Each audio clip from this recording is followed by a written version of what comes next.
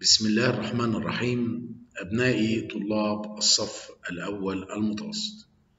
اليوم بنحل مع بعض تقويم الدرس الثالث عشر اللي هو كان بعنوان التخطيط كان بعنوان الحوار وأهميته. طيب بيجي لنا أول سؤال يا ولاد سؤال أكمل بس المرة دي حاطط لنا الكلمات فوق وإحنا هنختار من الكلمات ديت اللي بيناسب كل جملة.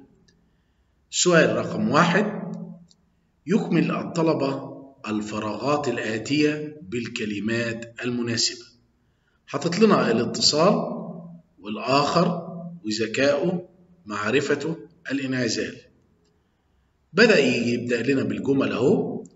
بيقول يقدم الحوار خدمة مهمة للإنسان لزيادة نقط بالأشياء.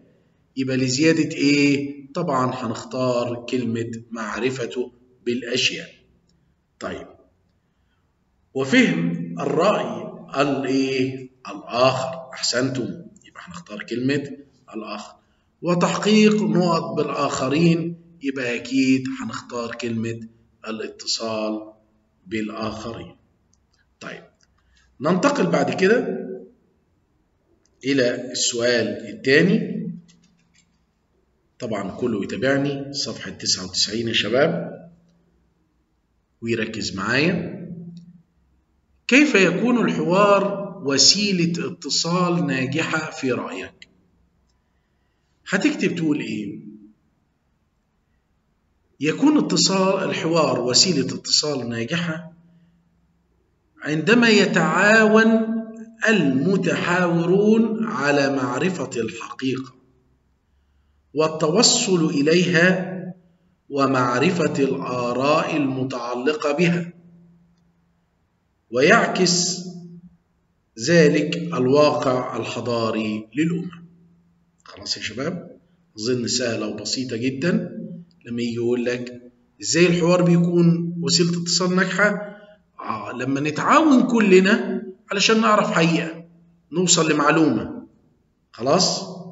نعرف الآراء المتعلقة حوالين قضية ما. بالتالي هيعكس الواقع الحضاري للأمم ويكون الحوار ناجح. سؤال رقم ثلاثة. بيقول لماذا نعتني بالحوار؟ آه ليه إحنا بنعتني بالحوار؟ طب ما إحنا ممكن ما يعني الحوار ده ما نديلوش أهمية. ليه إحنا بنعتني بالحوار؟ قال لك بنعتني بالحوار وذلك لأنه يساعد على فتح قنوات للتواصل من أجل تحقيق المعرفة والوعي. صعبة؟ أظن لغاية كده دلوقتي كده سهل وجميل جدا. ونيجي للسؤال الرابع وده سؤال سهل وبسيط. خلاص؟ بيقول لك للحوار سمات متعددة. فما هي؟ طبعا إحنا درسنا قبل كده ما يقرب من 8 أو 9 فوائد للحوار.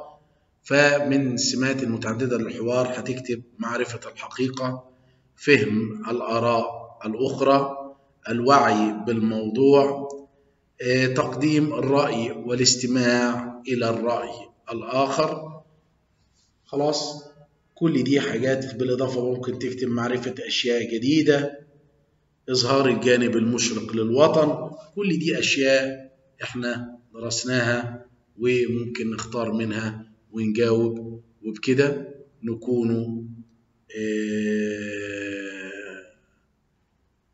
حلينا تقويم الدرس الثالث عشر.